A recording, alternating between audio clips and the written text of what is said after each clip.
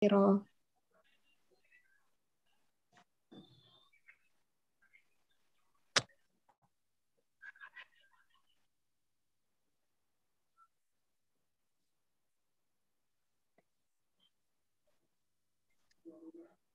Uh, oh ya, tunggu dua menit katanya sebentar ya. Ya, Kak. Hmm.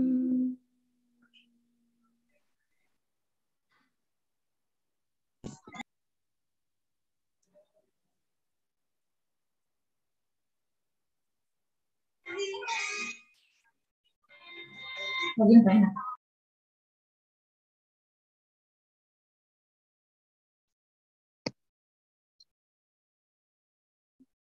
Putus ya? Iya.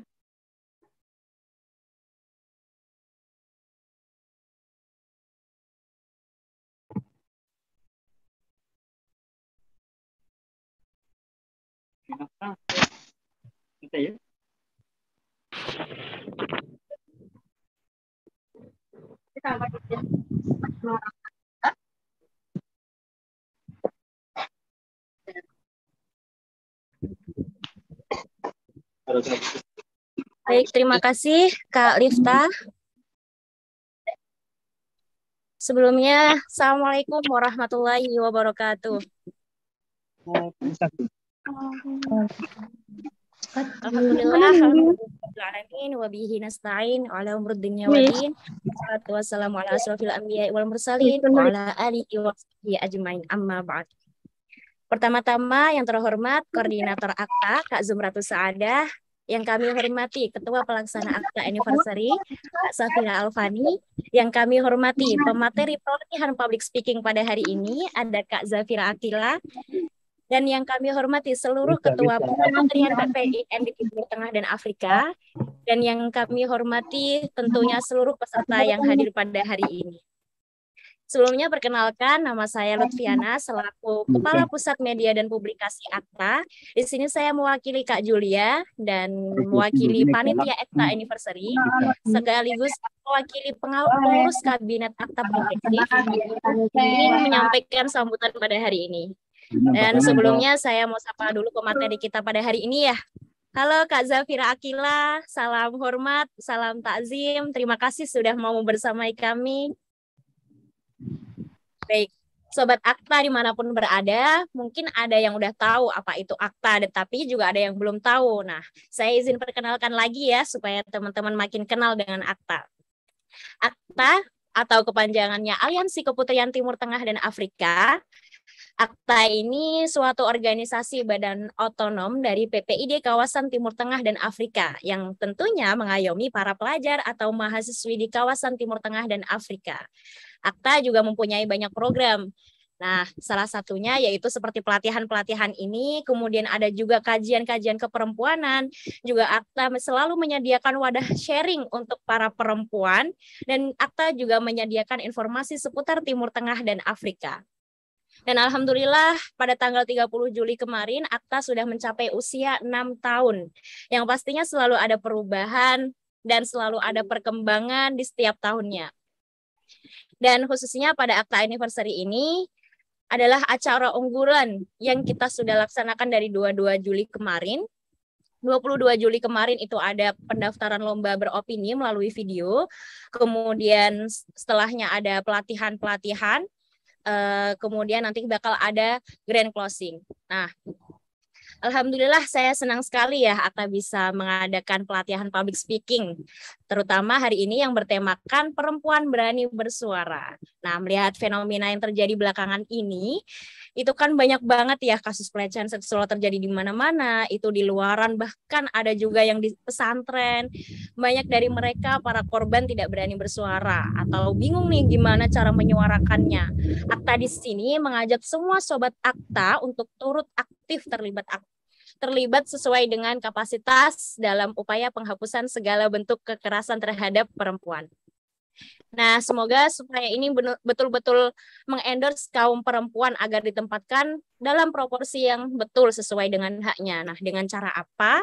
Salah satunya dengan speak up, berani bersuara, berani ngomong di publik, di halayak umum, tampil lebih percaya diri dengan seni berbicara yang berbobot tentunya. Nah, kita harus menjadi perempuan yang cerdas, perempuan yang berdaya, perempuan yang berbahagia.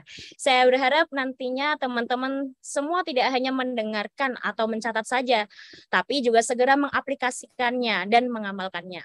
Akta menyediakan wadah untuk teman-teman semua agar langsung mengaplikasikan ilmu yang didapat pada hari ini melalui lomba video beropini yang bertemakan melawan kekerasan terhadap perempuan. Dan sekedar informasi, pengumpulan video diperpanjang hingga tanggal 25 Agustus. Persyaratannya nanti bisa dilihat di Instagram Akta. Terakhir, sekali lagi saya mengucapkan banyak-banyak terima kasih untuk Sobat Akta yang menyempatkan hadir pada hari ini. Mohon maaf kalau ada salah-salah kata. Wassalamualaikum warahmatullahi wabarakatuh. Waalaikumsalam.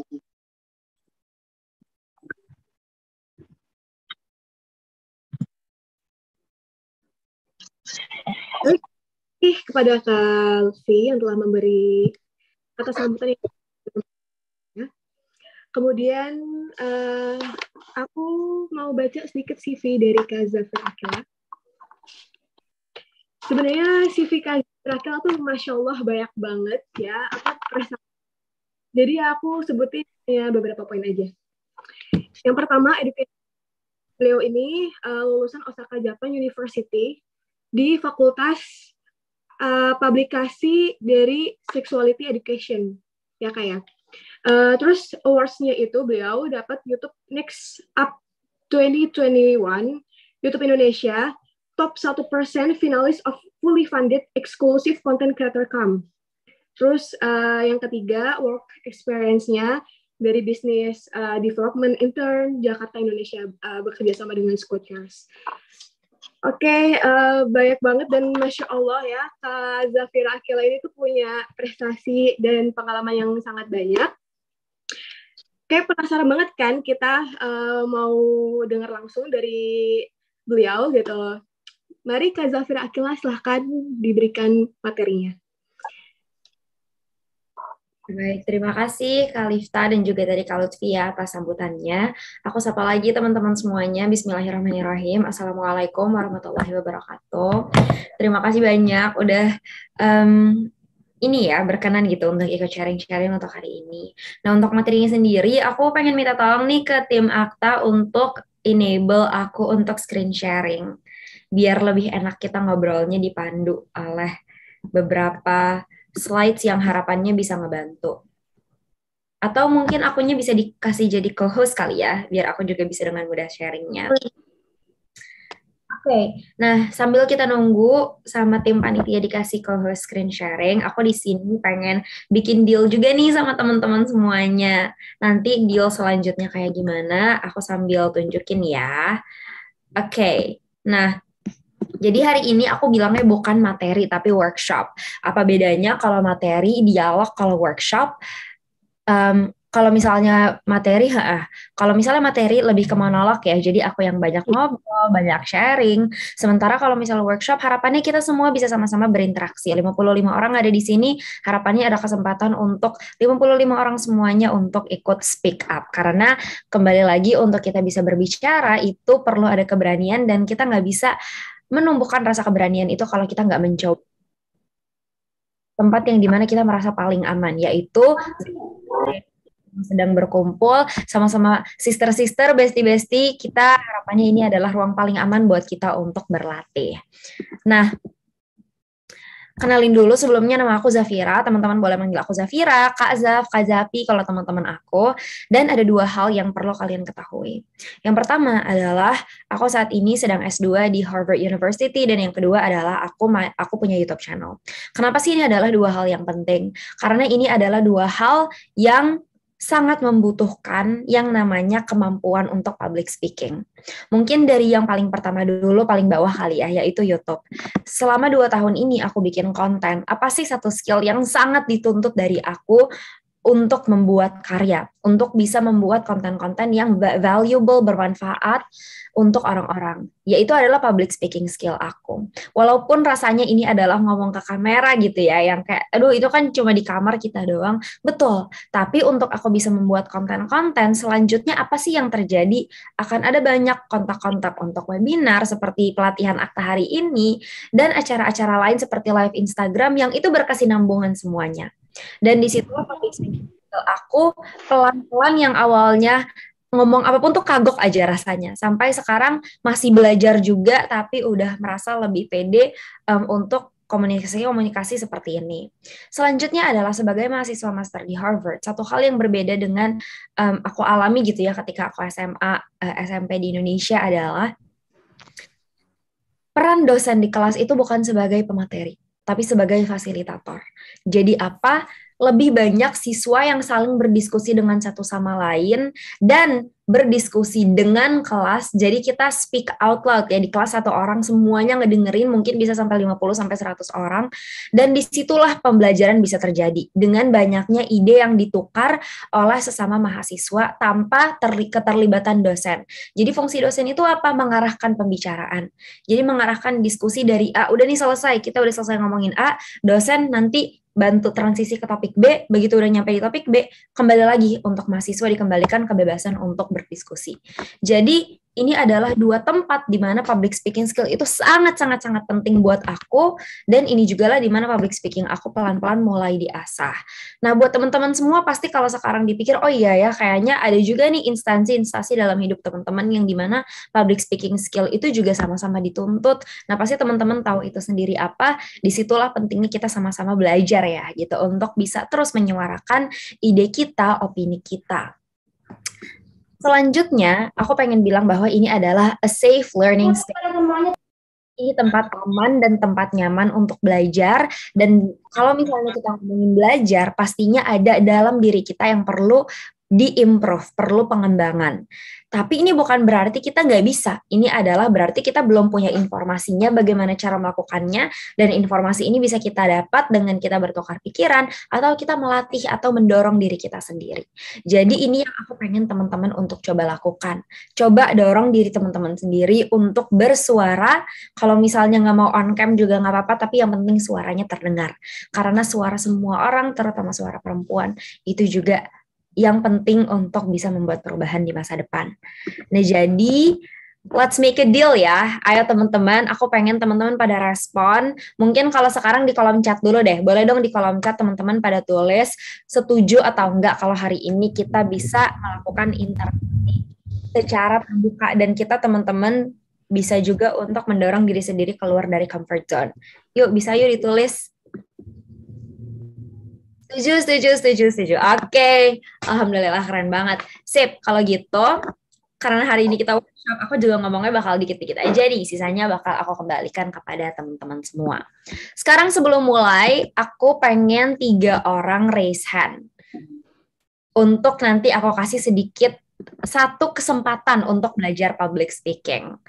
Tiga orang boleh raise hand dulu Oke, ini udah ada satu, Rahmania, Aza, Aska, oh siapa lagi? Oh, udah empat ya. Oke, aku tunjuk ya. Yang tiga yang paling pertama aku lihat di screen aku ada Rahmania, ada Aska, dan juga Sayekti Milan. Mungkin saya yang selain itu bisa di lower hand dulu. Nanti masih banyak kesempatan lain. Biar nggak ketukar. Jadi untuk Amita, Aziza, terima kasih boleh di lower hand. Untuk Kanadila juga bisa di lower hand dulu. Oke, okay. nah untuk tiga orang pertama nih, Rahmania, Aska, dan juga Sayekti. Apa sih tugasnya atau kesempatan public speaking apa sih? Yang pertama, aku pengen kalian kenalan dulu. Share with us Siapa nama kalian? Apa power kalian dan kenapa kalian memilih power tersebut? Sambil kalian mikir, aku kasih contoh. Ini adalah sedikit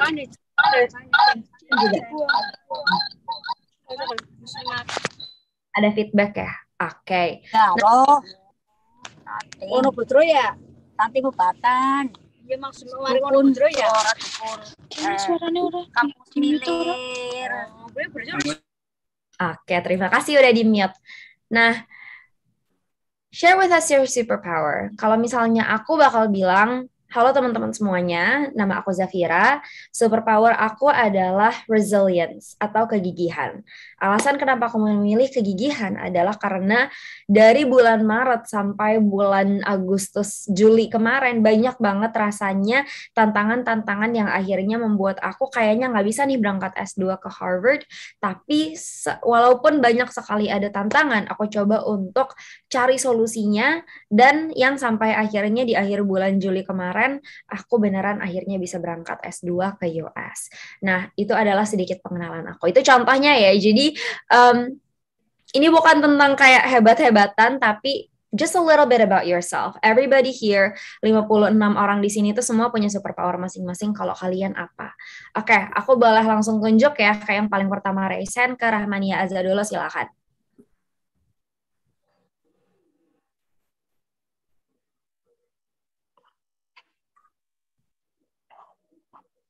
Baik, Sebelumnya, Assalamualaikum warahmatullahi wabarakatuh. Waalaikumsalam warahmatullahi wabarakatuh. Nama saya Rahmania Aza Auzia Winardi. Nama panggilan saya yaitu Aza. Saya mempunyai kekuatan dalam bidang public speaking dan kepenulisan. Karena setiap hari saya selalu berusaha untuk menulis apa pun yang saya evaluasi ataupun pelajaran-pelajaran yang saya dapat dalam kehidupan saya. Dan saya juga sering kali mengikuti webinar-webinar yang mana itu sangat melatih kemampuan saya dalam public speaking dan juga saya sering kali mencatat apa pun ilmu-ilmu yang saya dapatkan dalam webinar tersebut. Sehingga itu sangat melatih kemampuan saya selama ini dalam bidang kepenulisan dan public speaking. Oke, terima kasih buat Rahmani Azza. Boleh diapresiasi pakai emoji ya buat teman-teman semuanya. Next, Aska Zafira.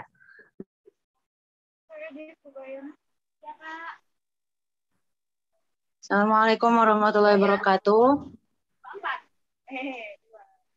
Nama saya Aska Zafira. Uh, saya berasal dari Depok.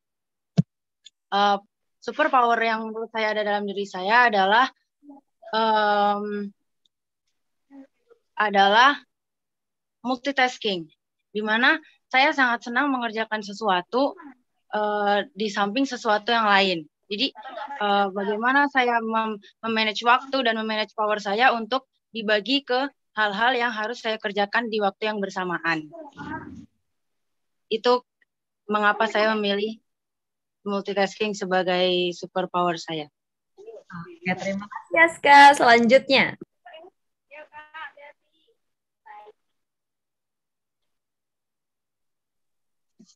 Ya, selamat malam. Perkenalkan, uh, nama saya adalah Saikti Milan. Biasa dipanggil Milan. Uh, superpower saya adalah tidak berani, tidak berhenti untuk selalu mencoba dan uh, mengapa saya memilih superpower tersebut? Karena dari situ saya mendapat banyak kesempatan untuk mengimprove skill saya, baik itu hard skill maupun soft skill. Dan buktinya sekarang saya bisa menempuh pendidikan hingga ke perguruan tinggi dan mendapat banyak pengalaman. Terima kasih banyak buat ketiganya yang udah berani untuk mencoba dan ini berkaitan dengan tips pertama untuk public speaking, yaitu leaving your comfort zone. Ketika kita berpikir untuk kebanyakan orang, terutama untuk teman-teman introvert, ini bisa jadi adalah hal yang paling nggak ngenakin. Aduh, gue introvert tapi harus ngomong di depan orang. Itu pasti ada rasa ketidakamanan, ketidaknyamanan. Nah, tapi satu hal yang perlu kita untuk kita bisa mengembangkan skill kita adalah untuk berani meninggalkan comfort zone kita. Atau kalau misalnya meninggalkan itu rasanya terlalu menakutkan kita bisa bilang ekspansi comfort zone jadi comfort zone kita yang tadinya segini kita ekspansi kalau keluar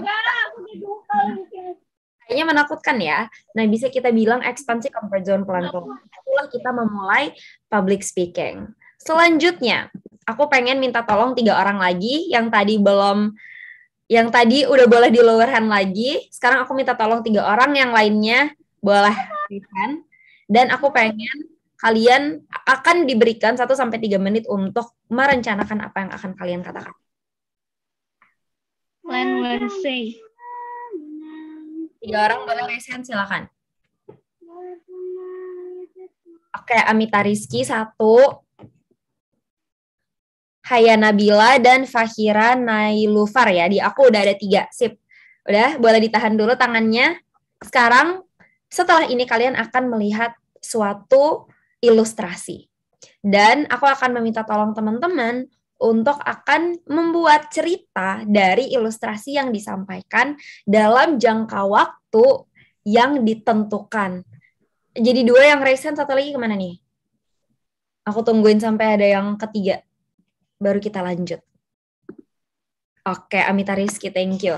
Sip, kalau gitu kita mulai dari Amita Rizky dulu. Yang pertama kali raise hand. Aku kasih teman-teman dan juga Amita untuk satu menit kali ya, satu menit untuk mempersiapkan apa yang ingin disampaikan. Satu, dua, tiga. Ini ilustrasinya.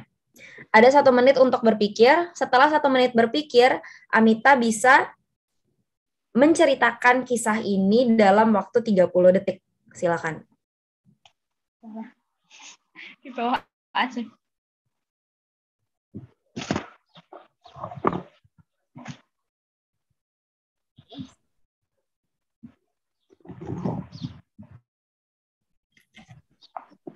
Mak, Kak, kisah yang mana? Yang ini.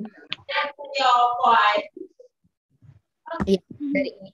Boleh dilihat gambarnya, dibaca, terus boleh merangkai ceritanya.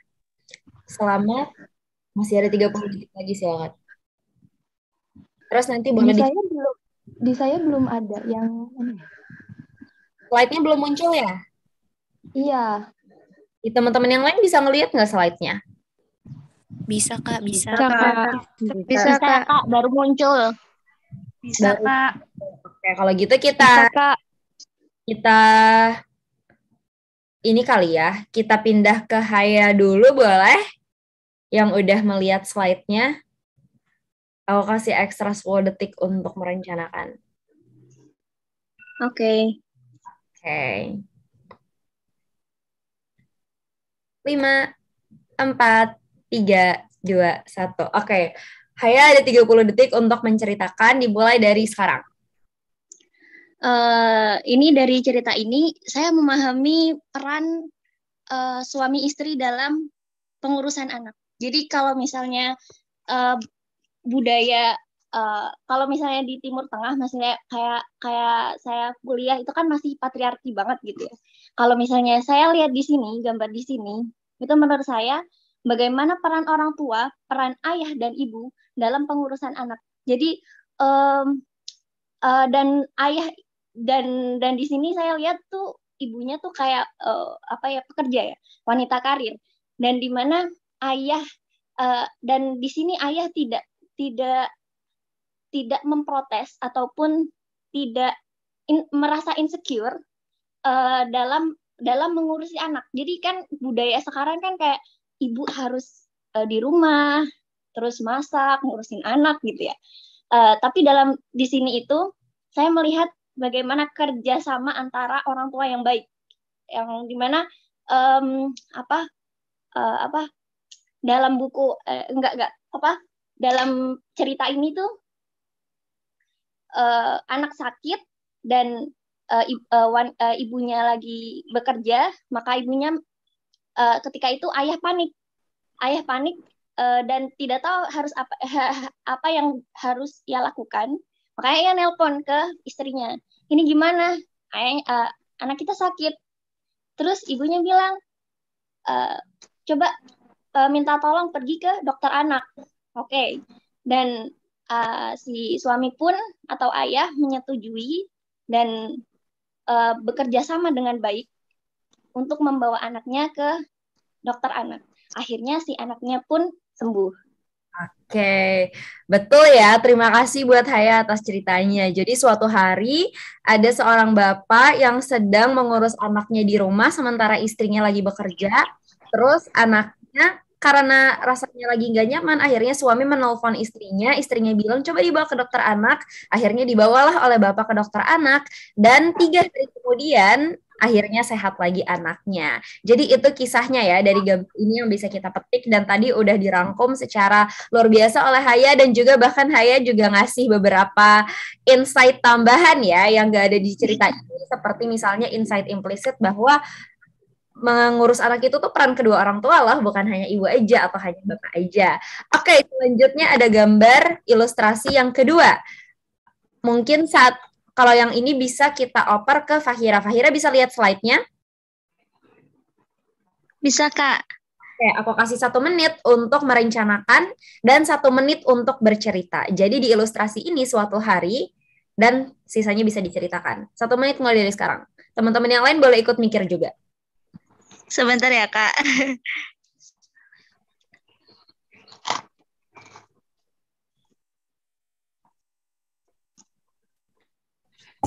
Oh iya.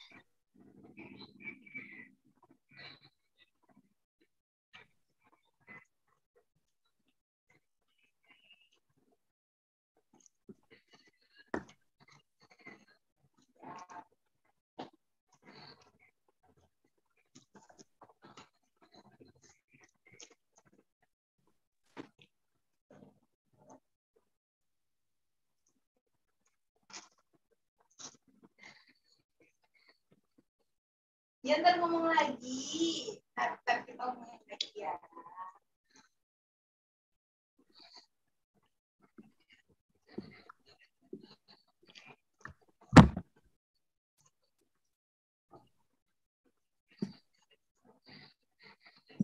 Oke, silakan Fahira boleh di-unmute. Dan Fahira ada satu menit untuk menceritakan kisah ini. Dalam tiga, dua, satu, silakan. Bismillahirrahmanirrahim. Jadi dari ilustrasi ini yaitu seorang ini kayaknya lagi di perpustakaan ya kak. Nah ini tuh dia tuh seperempuan ini tuh kayak mau minta tolong kayak mengucapkan sesuatu, tetapi laki-laki tersebut itu tidak paham dengan pembaca apa omongannya gitu. Saya tidak paham dengan bahasa Inggris katanya. Kemudian dia kan akhirnya kebingungan dan akhirnya ada seorang perempuan dia tuh kayak apa yang perempuan ini yang memakai baju biru itu mengungkapkan kembali gitu dan akhirnya perempuan ini perempuan yang temannya yang tadi agak kebingungan itu menceritakan dan akhirnya dia paham kemudian setelah seminggu kemudian Waduh kakak, saya kurang paham nih yang yang ketiganya ini. Ntar. Mohon maaf ya kak. Gak apa-apa, gak apa-apa. Jadi seminggu kemudian kira-kira dia lagi ngapain tuh? Ini Oh babung. iya, iya, iya. Seminggu kemudian dia tuh akhirnya jadi paham, jadi paham dengan akhirnya dari pembelajaran tadi. Nah, dia kan nggak paham ya kak dari yang apa yang tadi buka bahasa Inggris. Akhirnya dia dari nggak paham itu ada dia apa ya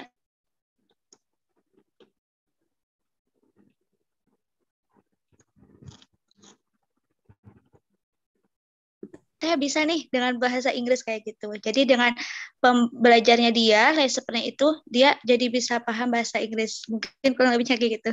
Mohon maaf kak. Ya apa, terima kasih banyak Pak Hira. Bener ya, jadi lagi kayaknya atau kerja di buku toko buku. Terus ada yang nanya nih, ada buku ini enggak kayaknya gitu ya. Terus dia nggak ngerti bahasa Iya Inggris. iya iya. Akhirnya dia minta tolong temennya, terus karena temennya bisa bahasa Inggris, terus dia kayak, aduh kayaknya aku juga harus belajar nih. Akhirnya di Iya ilustrasi iya iya. kemudian dia belajar bahasa Inggris dan dengan harapan nanti dia bisa ngobrol fasih dengan Bahasa klien-klien. Inggris. Iya. Oh, jadi luar biasa ya buat Fahira. Selanjutnya Amita, kelihatan nggak slide-nya? Kan kelihatan kak. Tadi belum digeser. Aku kasih ilustrasi yang terakhir untuk Amita. Aku next ya slide-nya. Apakah terlihat? Iya terlihat kak. Oke, aku kasih satu menit untuk merencanakan. Teman-teman yang lain juga silakan untuk merencanakan kisah masing-masing. Kalau dalam dua menit, teman-teman bisa menceritakan sebanyak apa. Satu menit dimulai dari sekarang.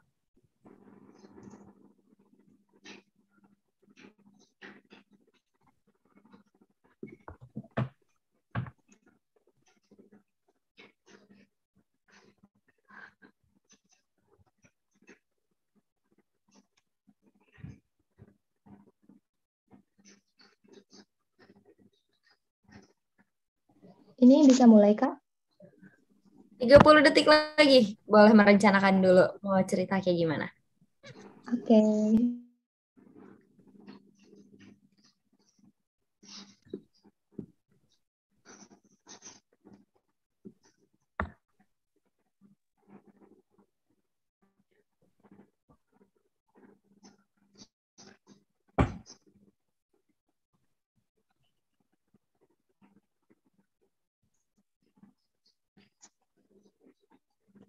Oke, silakan. Oke, sebelumnya perkenalkan nama saya Amita Rizky. Eh, kali ini saya bakal nyeritain sedikit da, apa sih penjelasan dari gambar yang saya lihat. Di sini kan ada tiga gambar. Nah, dari gambar yang pertama ini, nah, dari gambar yang pertama ini bisa saya simpulkan bahwasanya pada enam bulan sebelumnya itu si anak merasa khawatir karena dia tuh merasa takut e, gimana sih belajar bahasa Inggris? Takutnya tuh aku nggak bisa ngerti. Maksudnya kayak apa sih nggak sebanding sama teman-teman yang lain. Tapi kedua orang tua dari si anak itu sangat mensupport anak itu agar mereka agar si anak itu bisa terus kayak berusaha gitu loh kak. Mm-hmm. tuh kayak selalu memberikan support untuk si anak. Lalu untuk enam bulan kemudian si anak itu merasa udah gimana ya kayak uh, apa ya oh iya aku tuh bisa gitu loh dan dia tuh aktif di kelas gitu. Dan sampai akhirnya satu tahun kemudian uh, dia akhirnya udah bisa uh, lancar berbahasa Inggris gitu kak. Jadi karena mungkin kesimpulannya itu support sangat berpengaruh untuk meningkatkan semangat kita gitu. Iya gitu. Itu oke okay. banyak loh ya. Bener ya, dan kalau misalnya yeah. dikasih kesempatan untuk nambahin dikit-dikit, aku bakal bilang kalau anak ini kayaknya nervous nih pengen masuk international school karena dia orang apa ya nggak tahu misalnya dan gak bisa bahasa Inggris, tapi dia belajar dan akhirnya satu tahun kemudian dia lancar sampai kalau ada yang nanya menggunakan bahasa Inggris dia bisa memberi arah dengan lancar. Nah ini adalah tips kedua tentang public speaking. Ketika aku kasih kalian satu waktu satu menit gitu ya durasi untuk merencanakan ini juga yang perlu kita lakukan dalam setiap kegiatan publishing untuk membuat planning. Dan planning ini bukan ngomongin tentang argumen A, argumen B, argumen C, atau dari pembuka, isi penutup. Tapi yang direncanakan adalah segala proses sebelum kita masukin tentang konten, sebelum kita ngomongin tentang konten itu sendiri. Kita ngom kita mem memplanning di otak kita, kita punya waktu berapa lama sih untuk ngomongin tentang topik ini? Cold 7 menit. Terus abis itu mungkin kalau misalnya di acara-acara lain 5 menit kita dikasih sambut, dikasih waktu untuk sambutan, 3 menit untuk dikasih sambutan. Maka kita merencanakan dalam 3 menit itu apa aja nih poin yang bisa kita masukin.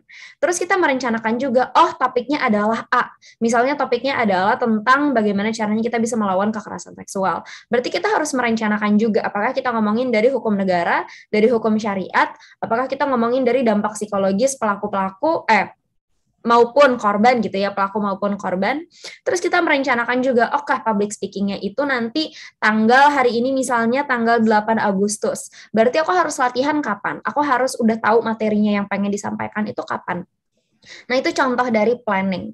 Jadi planning itu perlu kita lakukan sebelum public speaking, sebelum sampai akhirnya kalau kita udah jago banget nih, improv di saat itu juga di mana kita cuma dikasih satu detik gitu ya baru dikasih tahu bapak habis ini sambutan ya terus kita kayak hah habis ini sambutan nah mungkin kalau misalnya kita udah jago banget aman banget ya gitu untuk langsung maju ke depan nah, tapi baiknya sebelum kita masuk ke step itu kita selalu memplanningkan setiap agenda ketika kita dituntut untuk melakukan public speaking.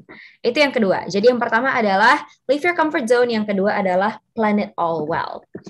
Nah, oops, Nah sekarang aku pengen tanya dari teman-teman juga nih. Kan tadi aku udah melibatkan beberapa orang. Aku sekarang ingin melibatkan teman-teman semua. Boleh dong nulis di kolom chat. Will Indonesian pop take over the world like K-pop? Menurut teman-teman gimana? Boleh di kolom chat yes or no. Itu aja. Aku cuma tanya itu dari teman-teman semua. Iya atau enggak? Yuk, boleh silakan ditulis. In 3, 2, 1. And no. Aku anggap itu no. No, no, no. Oke. Okay. Ada yang bilang yes. No, no, no, no. Ada yang bilang yes lagi. Ada lagi yang bilang yes? Ayo dong, terus dong. Ini kita ada berenam puluh ya, kayaknya masih masih banyak nih yang belum mencoba untuk beropini. No-nya ada yang semangat banget pakai caps boleh. Oke, okay. nah kayaknya udah banyak nih ya teman-teman yang berpendapat. Sekarang sebelum kita lanjut, aku pengen ada volunteer dua orang, satu yang tim yes dan satu yang tim no. Boleh di raise hand biar aku bisa ngelihat kalian. Oke, di sini ada Farmeita dan Aziza. Oke, sebentar, aku tanya dulu nih, Farmeita tim yes atau tim no? Tim no, Kak. No. Aziza tim apa? Oh. Tim no juga. No. Ada yang tim yes nggak nih? Coba yang tim no, aku sama Farmeita dulu kali ya, karena yang pertama kali. Aziza tim yes or no? No. Tim dong. Oke, boleh diturunin dulu tangannya. Aku pengen yang tim bias angkat tangan.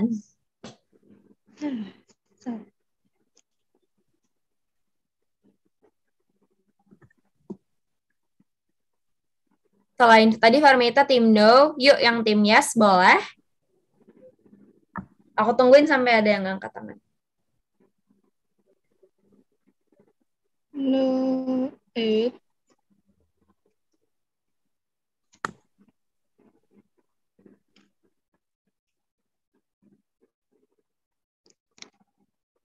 Aku bacain dari atas ya, yang nulis ya siapa aja. Ada Sayek Timilan, kalau mau maju lagi boleh. Ada Khofia, ada Andi Azahra Ainun FP, ada Ulfa Nurjanah Mulia Ningrum, terus ada aku nggak bisa baca Arab Gundul nih, maaf banget aku skip namanya ya. Ada Afaf Karimah, Gina A, Afifah, Siapa lagi? Watashi wa desu siapa? Istiani, bukan Istiani no yang paling semangat. Wanda, Fakhira, Divani. Yuk, yang tim yes boleh dong satu orang untuk volunteer. Ingat, untuk public speaking, we have to leave our comfort zone, and this is a safe space to learn. Aku nggak bakal minta untuk kalian berdebat di depan kita semua, bukan itu tujuannya. Jadi bisa relax and raise your hand. Dan ingat, gak ada yang namanya benar atau salah when it comes to opinion. Oke, okay, terima kasih Afifah udah raise hand. Afifah tim yes ya, aku koreksi. Iya, Oke, okay, thank you Afifah. Oke, okay, kalau gitu, sekarang aku pengen semuanya nih, termasuk dua yang raise hand, untuk coba dipikir. Will Indonesian pop take over K-pop? Yes or no, tadi teman-teman udah jawab. Sekarang aku pengen teman-teman untuk mikir, but why? Why? Kenapa teman-teman merasa no? Kenapa teman-teman merasa yes? Apa aja sih argumen? Pasti kan setelah kita bilang yes or no, kita pasti langsung kayak enggak kak, karena nggak ada yang bisa nyaingin gantengnya Jongkok misalnya kayak gitu. Atau misalnya ada dari kalian yang kayak enggak kak, karena semua konten K-pop itu sekarang udah ada English subtitle-nya sementara kalau misalnya Indonesia cuma orang Indonesia doang yang ngerti misalnya kayak gitu. Atau misalnya ada yang bilang yes karena um, lihat aja kayak Nicky atau misalnya Rich Brian yang mereka orang Indonesia tapi mereka bisa tuh sampai ke Coachella misalnya kayak gitu. Jadi think about your argument for one second. Aku kasih satu menit buat teman-teman untuk semuanya berpartisipasi dalam berpikir iya atau enggak. Dan kalau iya kenapa, kalau enggak kenapa?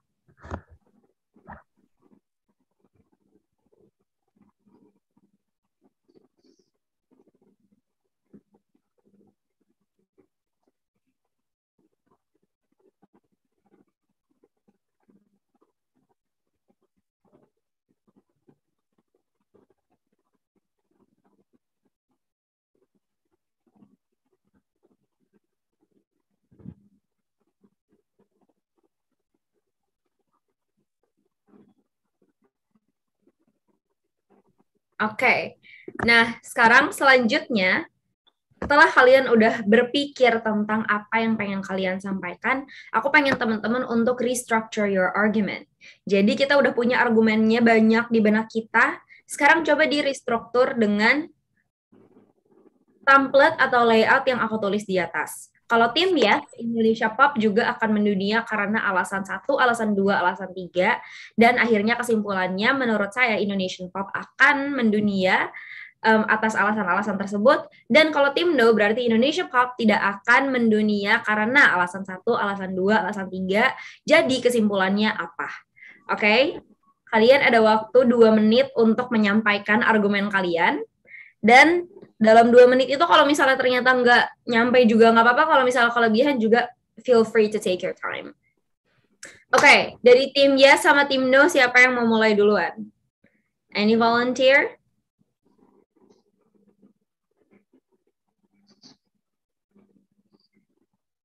Oke, okay, kalau gitu dari tim No dulu karena tim No tadi yang paling pertama angkat tangan dan kayaknya tim No banyak nih yang bakal mendukung kalau aku lihat di kolom chat ya.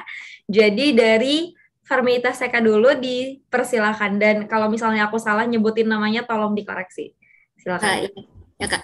Bismillahirrahmanirrahim. Perkenalkan nama saya Farmita Seca. ya, uh, sebelumnya uh, mungkin alasan-alasan saya kenapa bilang no karena uh, kurang tahu tentang fakta lebih detail gitu ya. Cuman kalau dari saya pribadi itu tim no karena yang pertama mungkin alasannya karena teater. Teater. Orang apa?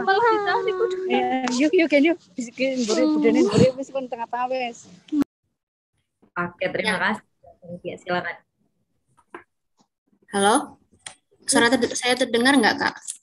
Terdengar Oh ya, yang pertama karena uh, Indonesia saat ini kan uh, punya norma-norma tertentu yang itu mungkin bisa dibilang tidak terlalu bebas gitu. Uh, jadi mungkin ada norma hukum, hukum agama atau hukum adat istiadat sehingga ada beberapa fakta yang membuat uh, bisa dibilang kita tidak bisa maju go internasional. Yang pertama mungkin dari segi musik. Uh, kalau saya lihat pribadi dari masalah K-pop atau Western pop gitu, uh, ketika mau masuk go internasional mungkin bisa jadi ketika membuat musiknya atau ketika pembuatan MV-nya itu banyak yang tidak sesuai dengan norma Islam misalnya uh, dari segi pakaian atau nanti budaya misalnya kalau MV MV kan kadang ada kayak uh, nge, apa ada cuplikan drugs atau gaya hidup barat yang mungkin kurang sesuai dengan norma kita. Jadi uh, saya bilang no karena kita tidak bisa sebebas itu. Tapi kalau misalnya mau kita mau mengkonsep yang sopan tapi bisa lebih bagus, mungkin bisa gitu. Itu yang pertama. Terus yang kedua, eh, Indonesia sebenarnya bisa tidak bisa dibilang tidak punya bakat, punya bakat. Mungkin selera eh, orang Barat itu tidak selera masyarakat dunia mungkin itu tidak menerima apa yang kita punya gitu sebenarnya enggak juga sih kak. Jadi gini, uh, kalau misalnya kayak budaya musik Indonesia, musik Indonesia itu banyak juga yang disukai, diminati sama masyarakat luar. Cuman uh, kita tidak bisa maju karena kurangnya, um, kurangnya cara kita menyampaikan gitu cara kita mempublishkan. Mungkin kalau semisal Nicky atau Rich Brian itu bisa, mungkin karena mereka punya channel gitu di luar sana. Mereka sudah punya uh, sedikit step-step bagaimana mereka mempromosikan itu gitu. Jadi uh, alasan saya tidak bisa diterima kalau semisalnya tim Yes bisa mengajukan uh, step-step yang lebih bagus daripada saya gitu. Sekian uh, kurang lebihnya mohon maaf. Terima kasih.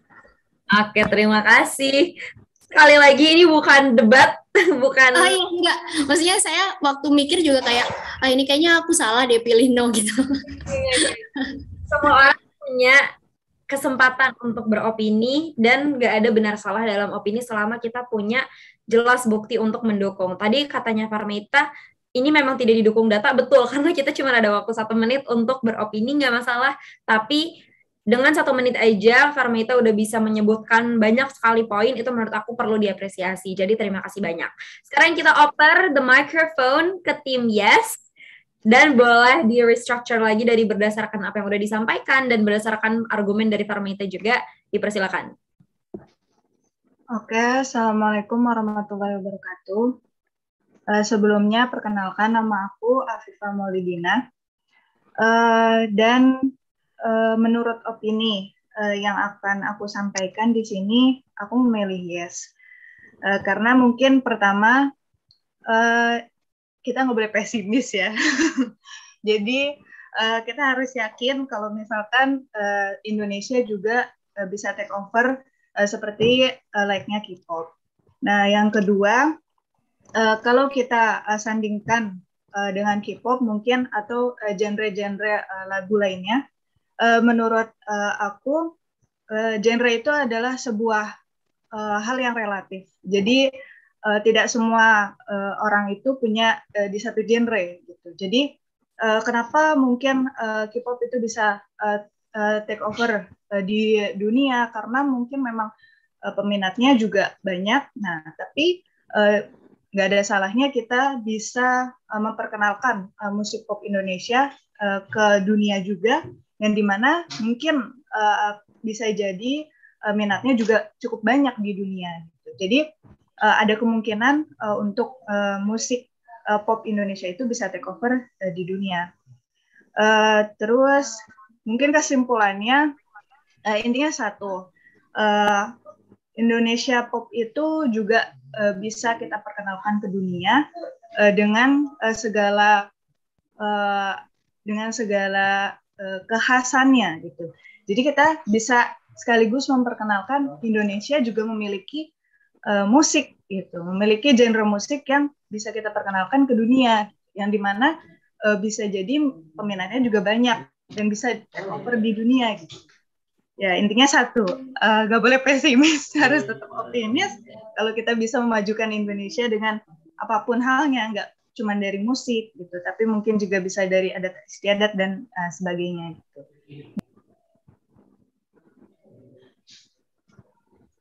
Oke, terima kasih buat atas argumennya dan Farmita juga.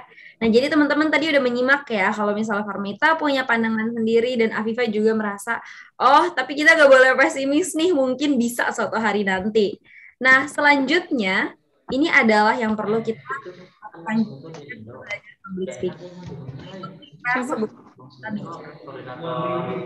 Ya Anwar, ada. Wakil ini berbeda dengan planning di awal ketika kita planning tentang aduh materinya apa, planning aduh waktunya berapa, aduh kapan. Tapi prepare segi konten. Jadi kita harus tahu dulu audiens kita siapa sih. Di sini audiensnya adalah teman-teman si, uh, sister-sister, bestie-bestie semua gitu kan. Jadi oh kita bisa lebih chill nih ngomong yang nggak terlalu formal, casual juga nggak apa-apa, dimasukin humor juga nggak masalah. Terus kita tapi harus brainstorm juga sebelum kita ngomong, tadi teman-teman sempat dikasih waktu untuk mikir yes or no. Kalau yes kenapa, kalau no kenapa. Nah itu ada kesempatan buat teman-teman untuk brainstorm ketika ditanya kenapa. Oh iya nih, kayaknya gara-gara ini deh. No karena kayaknya ini. Terus teman-teman setelah itu diminta untuk merestructure argumen kalian. Karena ketika brainstorming, banyak banget yang bisa muncul di benak kita, dan kadang kalau misalnya kita terlalu banyak dan nggak kita restruktur lagi apa yang akan kita sampaikan, maka akan sulit juga gitu untuk diterima oleh masyarakat. Oke nih, gue tahu lo ngomong yes, tapi kenapa? Kayak intinya tuh apa? Nah, itu bisa jadi sulit untuk ditangkap kalau misalnya kita nggak mengklarify pesan kita itu seperti apa. Nah, aku pengen um, ngomongin ini juga ya gitu. Kalau misalnya konsistensi itu important. Jadi kalau misalnya tadi ketika kita bilang banyak nih kata-kata penghubung yang disampaikan oleh Farmeta maupun Afifah, Afifah seperti pertama ini, kedua ini, terus ketiga ini. Nah, jadi intinya, nah ini juga penting ya, ada konsistensi dan digunakan kata hubung yang pas juga dan dari paragraf pertama, kedua, ketiga itu juga perlu ada kesinambungan. Kalau misalnya tadi kata Farmita, iya nih Kak, Uh, tapi kalau misalnya dari argumen lain seperti ini, terus tapi menurut aku sih tetap kayak gini. Nah ini cara kita juga bisa untuk tetap membangun argumen. Jadi membangun argumen itu nggak melulu kita harus setuju dan menadres yang satu perspektif dengan kita. Satu hal yang aku selalu diminta tolong di Harvard ketika aku menulis essay adalah aku pengen mereka pengen kita mengadres perspektif lain. Jadi misalnya nih um, ditanya apakah um, bayi dari hasil perkosaan itu boleh diaborsi misalnya kayak gitu. Kalau misalnya kita adalah tim ya, kita bisa bilang boleh karena, boleh karena.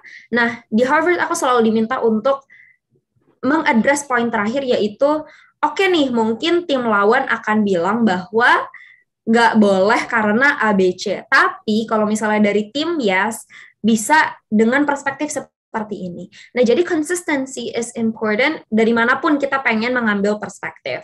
Nah, selanjutnya teman-teman tadi kan udah mendengar kedua argumen. Aku pengen ada dua orang yang pengen give their best shot untuk angkat tangan. Two people who want to give their best shot. Boleh angkat tangan? Masih berhubungan dengan topik yang barusan. Silakan. Ini Gak masalah tim yes, gak masalah tim no, siapa pun boleh. oh my god. Oh my god. Oh god.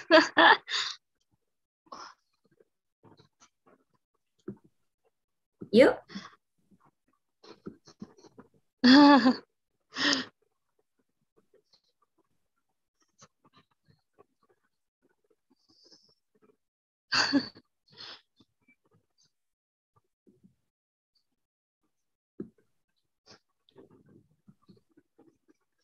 Want to give the best shot. Oke. Okay. Oh. Zafira lagi, angkat tangan. Ada lagi? Yang tadi udah, terus mau nyoba lagi boleh. Oke, okay, thank you. Sekarang ada Haya Nabila. Oke. Okay. Nah, sekarang aku bakal menanyakan opini kalian berdasarkan argumen yang tadi. What do you think about their delivery? Apakah bisa menjelas mereka dengan clear, dengan suara yang jelas? Apakah mereka membuat eye contact kepada layar dan audiens semuanya? Dan apakah dalam waktu kurang lebih dua menit gitu ya yang disediakan, itu mereka berhasil membangun argumen yang efficient? Tadi ada Afifah dan ada Farmeita Silakan, menurut kalian gimana sih? Coba kasih feedback kepada mereka. Atau ya, jadi selain feedback juga opini tentang cara penyampaian mereka ketika mereka berargumen barusan. Boleh dari Aska dulu, mungkin Aska boleh beropini tentang deliverynya Farmita, terus Haya boleh beropini um, tentang deliverynya Afifah. Dari Haya dulu dipersilakan. Oke, okay sini saya akan give uh, the best shot buat teman saya, Viva. Um, di sini saya mendengarkannya tuh kayak uh, kurang konsisten. Jadi tadi menyebutkan beberapa alasan, tapi saya kurang menangkap gitu. Apa sih maksudnya inti dari perkataannya? Oke, okay, uh, intinya adalah uh, tidak boleh pesimis, harus optimis. Oke, okay, tapi apa alasannya? Apa uh, apa dari keoptimisan tersebut adakah yang yang uh, yang digunakan untuk uh, para K-pop maksudnya K-pop dari Indonesia untuk uh, take over dari K-pop K-pop dari Korea gitu. Terus um, terus kurang apa ya um, untuk memakai uh, waktunya kurang uh, kurang uh, uh, kurang urut gitu apa ya kurang tertib gitu dalam penyampaian jadi kayak audiens uh, merasa bingung. Maksudnya uh, dari kan tadi sudah saya sebutkan kurang konsisten jadi menyebutkan beberapa alasan pertama tapi ya saya tidak mendengarkan ke ketiga ataupun kedua gitu.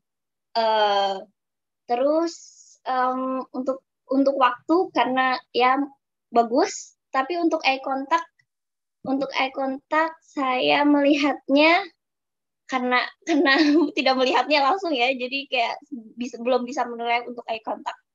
Udah. Oke terima kasih buat Haya. Selanjutnya buat Aska dipersilakan. Assalamualaikum warahmatullahi wabarakatuh. Uh, mengenai argumen uh, teman kita Farmaita tadi menurut saya uh, Oh, suara untuk untuk suara tadi sempat ada gangguan ya karena ada suara masuk selain suara dia tadi. Uh, tapi alhamdulillah saya bisa mendengar jelas uh, tentang argumennya. Uh, untuk eye contact juga tadi screen dia saat berbicara muncul sehingga saya bisa dengan jelas melihat pergerakan mulutnya dan kalimat-kalimat yang diucapkan. Dan untuk uh, penyampaiannya bagi saya itu uh, sudah mencakup poin-poin pentingnya. Namun mungkin uh, oh ya, dan sudah juga me, apa address uh, another perspective. Jadi dia juga sudah mengungkapkan bagaimana jika itu bisa mendunia seperti layaknya K-pop. Nah, tapi di sini dia tetap mempertahankan pendapatnya bahwa ada norma-norma yang harus di uh, ditaati di Indonesia. Dan menurut saya uh, sudah lumayan tersampaikan kepada audiens semuanya. Oke. Terima kasih. Terima kasih banyak buat semuanya uh, untuk feedback barusan. Nah, jadi itu yang penting juga ya kita lakukan bahwa dalam public speaking satu aspek yang sangat-sangat-sangat penting itu adalah untuk practice. Jadi kita tadi udah ngomongin tentang keluar dari comfort zone, kita udah ngomongin tentang planning, prepare, konsisten. Yang kelima adalah penting sekali bagi kita untuk selalu melatih apa yang ingin kita sampaikan sampai ini jadi bagian dari muscle memory kita.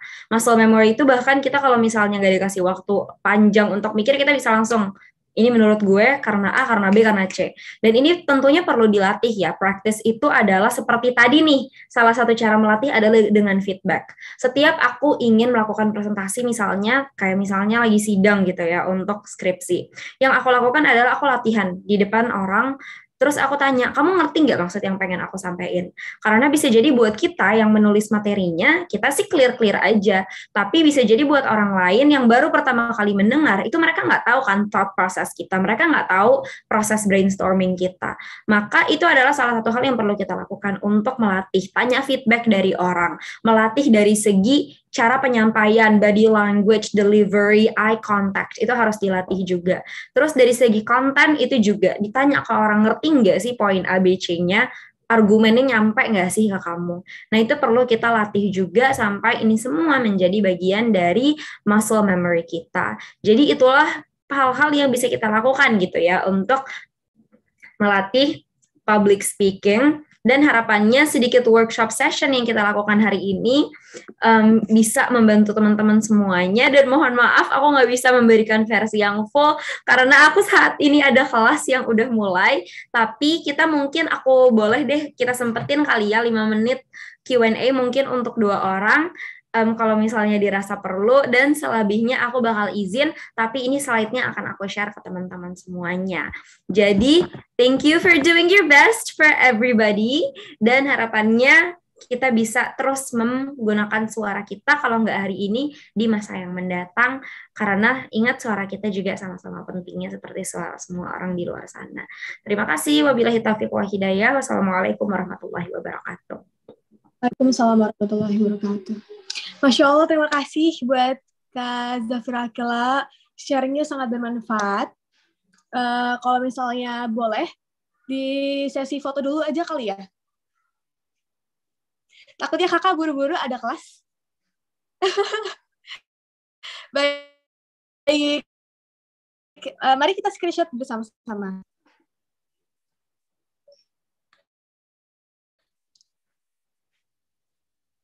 Satu, dua, tiga. Satu, dua, tiga. Baik, terima kasih Kak Zafira Akila. Uh, buat teman-teman yang mau beri pertanyaan, boleh. Dua, dua orang aja ya, Kak ya? Oke. Okay. Silahkan. Wah, antusias banget. Yang pertama kayaknya Aska Syafira. Wah, aktif banget ya. Sama yang kedua siapa ya? Aku aku nggak ngeliat yang kedua. Boleh Kak Zafira sendiri yang untuk pilih? Tadi ada yang paling pertama namanya Wanda. Boleh mungkin oh. Wanda. Baik, baik. Boleh uh, Wanda dibuka voice-nya? Uh, Assalamualaikum warahmatullahi wabarakatuh. Waalaikumsalam warahmatullahi wabarakatuh. Uh, maaf ke sebelumnya nggak bisa lagi nggak bisa nyalain kamera. Uh, mau nanya kak, mungkin boleh dijelaskan lagi ke Zafira eye contact di sini dari pengal berdasarkan pengalaman antum, pengalaman kakak uh, dalam public speaking dan lain sebagainya. Terima kasih kak. Oke, terima kasih. Kalau misalnya kita ngomongin layar kayak gini, aku juga masih belajar sih untuk bisa selalu melihat ke kamera kayak sekarang. Tapi kalau misalnya sulit, karena aku tuh orangnya suka ngeliatin aku tuh ngomongnya bener gak sih gitu? Kayak aku suka ngeliat gambar aku sendiri atau video aku sendiri. Jadi setiap ada masalah kayak gitu aku coba drag supaya video aku tuh persis di bawah kamera. Jadi aku nggak terlalu jauh matanya dari kamera dan melihat teman-teman semuanya. Tapi dalam kondisi offline ketika aku memberi materi in person eye contact yang aku coba maintain adalah ngelihat aja audience gitu. Dan kalau misalnya bisa yang selalu aku lakukan adalah bukan melihat semuanya kanan kiri kanan kiri tapi aku lihat satu sisi dulu. Mungkin satu paragraf cuman satu sisi itu. Terus sesi kedua aku satu untuk paragraf selanjutnya aku lihat satu sisi lagi. Paragraf ketiga aku lihat satu sisi lagi. Gitu. Jadi satu satu satu gitu. Instead of bolak-balik kanan kiri karena menurut aku itu bisa jadi distraction juga buat audience kalau misalnya kita sendiri tuh nggak fokus gitu dan akhirnya pesan yang kita ingin sampaikan hilang dan menurut aku itu sayang banget. Jadi itu mungkin tips eye contact yang aku punya. Don't be scared, find your friends in the audience dan semoga menjawab ya untuk Kawanda.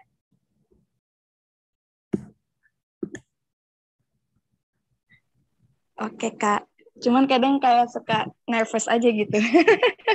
sama banget, sama banget. Emang paling enak adalah kalau misalnya kita bisa ngelihat teman-teman aja sih di audience. Oke, okay. mungkin next tadi siapa untuk panitia? Thank you, Kak. Thank you juga.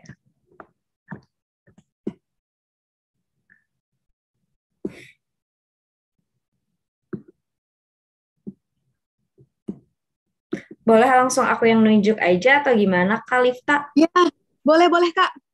Oke, mungkin karena tadi Aska kita udah ngobrol, aku tunjuk yang lain ya, yang belum.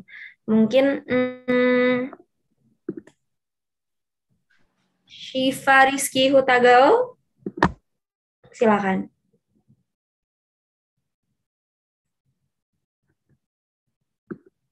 Halo Kak Shiva. Halo Kak, kedengeran Kak suaranya? Uh, nah gini kan kak, coba bentar kak.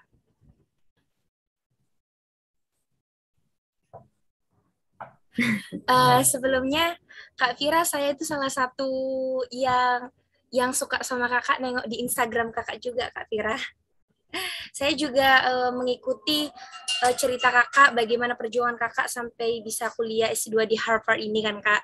Jadi saya cuma mau nanya satu pada saat kita gagal, apalagi kakak uh, gagal untuk ke sini, dapat beasiswa ini, dapat beasiswa ini, apa mental yang kakak terapkan di dalam diri kakak untuk mencoba hal tersebut lagi?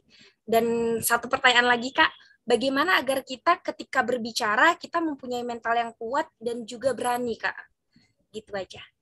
Oke, okay.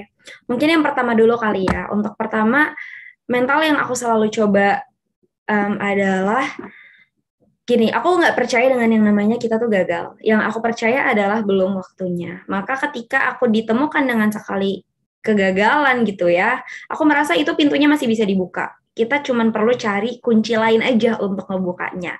Entah itu apakah dengan CV yang kita ubah, personal statement yang kita ubah, atau cara kita mendaftar jurusan yang kita daftar itu kita ubah. Banyak sekali variabel yang bisa kita ubah untuk kita untuk kita bisa um, mencoba hal yang baru gitu dan itu yang aku percaya. Jadi kalau misalnya sekali belum berarti ini bukan selamanya pintu itu tertutup buat aku. Itu yang pertama. Terus yang kedua gimana caranya ketika public speaking kita bisa menggunakan mentality yang sama yang sama-sama kita berani gitu ya adalah dengan pertama meyakini bahwa apa yang kita sampaikan tuh memang perlu disampaikan. Um, terus yang kedua adalah untuk tahu bahwa your audience is the way that you are. Kalau misalnya kita nggak berani untuk menyampaikan, audience kita juga akan mikir dua kali, ini penting nggak sih untuk didengerin? Kalau misalnya dia sendiri aja tuh nggak meyakinkan buat kita.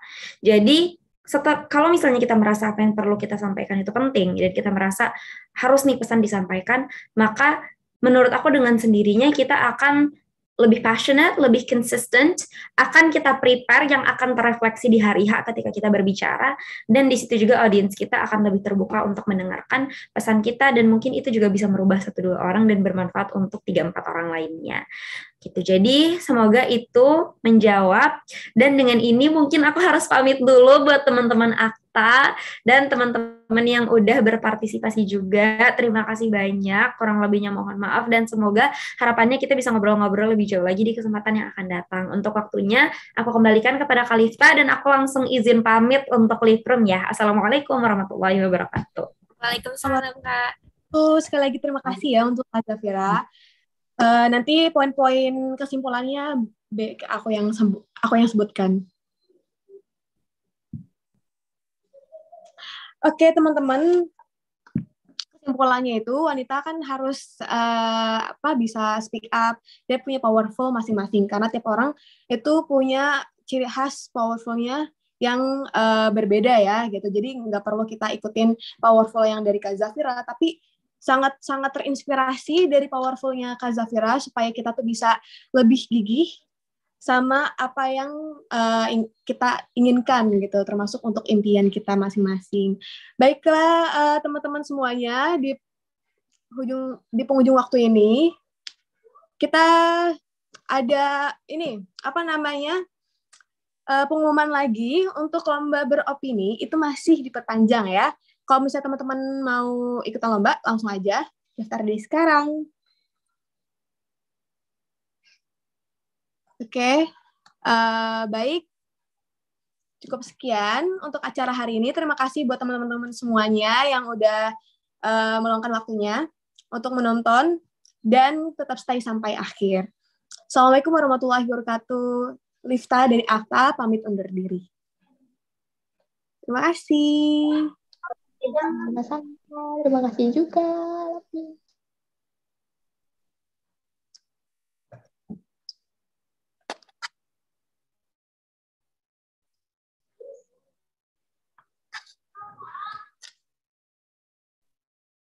Terima kasih untuk semua peserta yang telah hadir. Kami izin undur diri. Jangan lupa besok untuk ikuti pelatihan selanjutnya yaitu ada leadership. Terima kasih. Assalamualaikum warahmatullahi wabarakatuh. Waalaikumsalam warahmatullahi wabarakatuh. Terima kasih semuanya.